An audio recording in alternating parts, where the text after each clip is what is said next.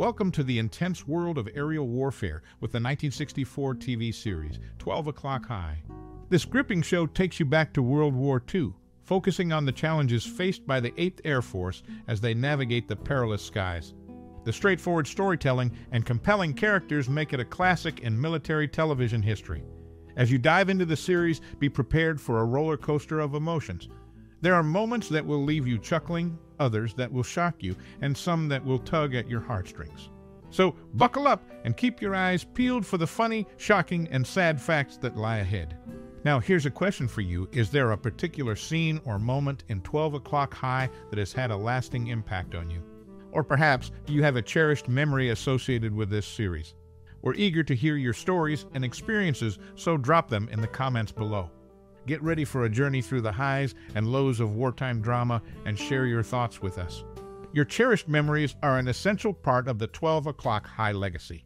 Let the storytelling begin. The 1964 TV series 12 O'Clock High had a lasting effect on military television history. The portrayal of the 8th Air Force's challenges during World War II stays with viewers due to its simple storytelling and interesting characters. The show's strength lies in taking the audience through a mix of emotions. Moments of humor, surprise, and touching scenes create a varied experience in this wartime drama. Viewers get drawn into a compelling journey through the ups and downs of aerial warfare. What makes 12 O'Clock High stand out is not just its depiction of the harsh realities of war, but also its exploration of the human side within the military setting. The characters aren't just soldiers, they're individuals with unique stories, making the series relatable on a personal level. Even decades after its initial airing, 12 O'Clock High remains relevant.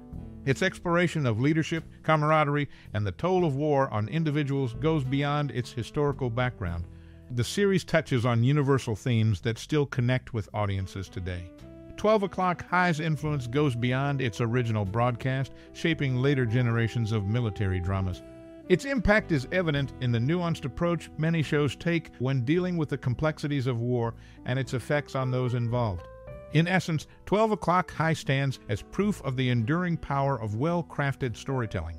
Its significance lies not only in its historical accuracy and attention to detail, but also in its ability to connect with viewers on a deep and emotional level. As we revisit this classic series, we're reminded that its themes are timeless, ensuring its continued relevance in television's ever changing landscape. Exploring the creation of the 1964 TV series reveals the key figures who shaped its success. The minds behind the scenes, including creators, producers, and directors, played pivotal roles in bringing the intense world of aerial warfare to life.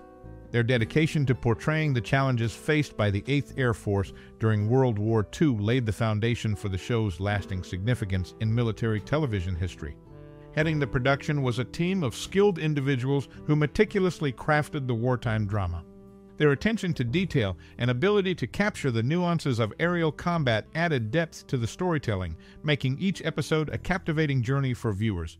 The cast, the heart and soul of the show, brought a unique flair to their roles, turning characters into relatable individuals with compelling stories. The casting process, filled with interesting trivia, unfolded to assemble a cast that could authentically portray the human side within the military setting. One standout aspect of the casting process was the selection of actors for key roles, ensuring a seamless blend of talent and chemistry.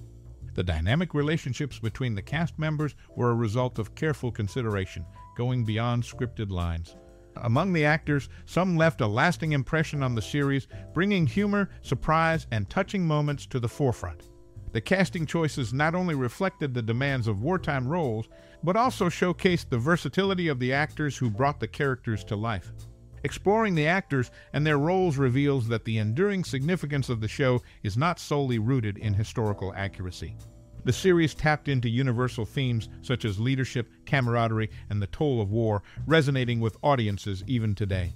The show's impact extends beyond its initial broadcast, influencing subsequent generations of military dramas and shaping the way war stories are told on television. In conclusion, the collaborative efforts of the creators, producers, directors, and cast resulted in a poignant reminder of the human experience within the chaos of war. Their contributions, both behind and in front of the camera, created a timeless piece of television that continues to connect with viewers on a deep and emotional level. Switching from the late night schedule to a more viewer-friendly 7:30 p.m. time slot, Robert Lansing was replaced in the 1965 season of the series. Surprisingly, the decision was influenced by Paul Burke's youthful appearance, even though Lansing was the younger actor. This change in casting reflects the practical considerations of television scheduling. An interesting connection is found in the soundtrack, where parts of the music used in Star Trek are also used in the transitions of 12 O'Clock High. This subtle link between the two series adds an interesting layer to the sound experience of both shows. Looking at the characters, the series draws from its cinematic predecessor, keeping Brigadier General Frank Savage and Major Harvey Stovall as central figures.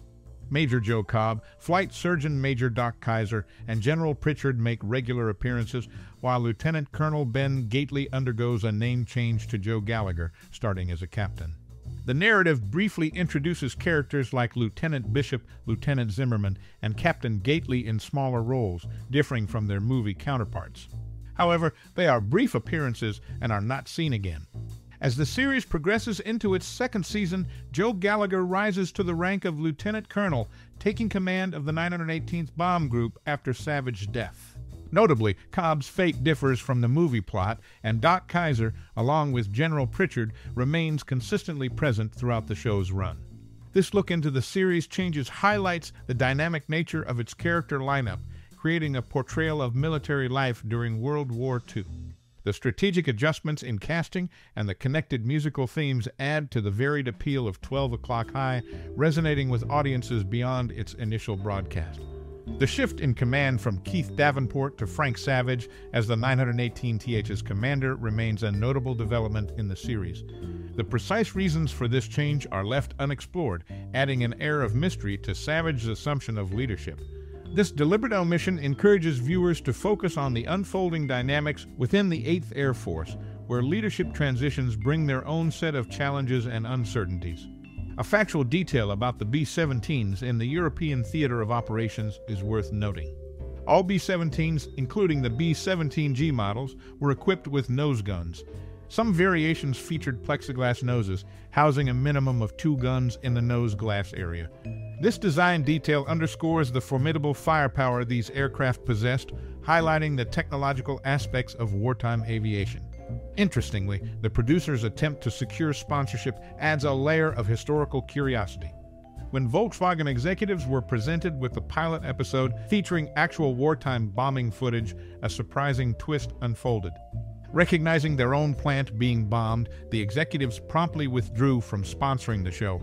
This anecdote sheds light on the unpredictable turns faced by the series in its quest for financial support, offering a glimpse into the challenges of navigating the television industry. In the second season, a shift in the series schedule prompted the replacement of Robert Lansing with Paul Burke, driven by practical considerations rather than age-related factors. This alteration reflects the pragmatic nature of television scheduling decisions, where the appearance of actors plays a crucial role in audience engagement. A subtle connection between the soundtracks of 12 O'Clock High and Star Trek adds an intriguing dimension to the viewing experience. Shared musical themes between the two series create an unexpected link, contributing to the auditory appeal of both shows. This intertextual connection showcases the nuanced ways in which different elements of television production can intersect and influence one another. Character developments in the series, such as Joe Gallagher rising to the rank of lieutenant colonel and assuming command of the 918th Bomb Group after Savage's death, showcase the dynamic nature of the narrative. These strategic adjustments in casting and character arcs, coupled with consistent appearances of key figures like Doc Kaiser and General Pritchard, contribute to the varied and evolving portrayal of military life during World War II. In conclusion, the TV series 12 O'Clock High delves into the complexities of wartime leadership transitions, aircraft design nuances, and the unpredictable world of securing sponsorships in the television industry. These aspects, along with shifts in casting and unexpected musical connections, enrich the viewer's understanding of the show's multifaceted nature and its enduring relevance in military television history, showcasing the ever evolving landscape of wartime dramas on screen.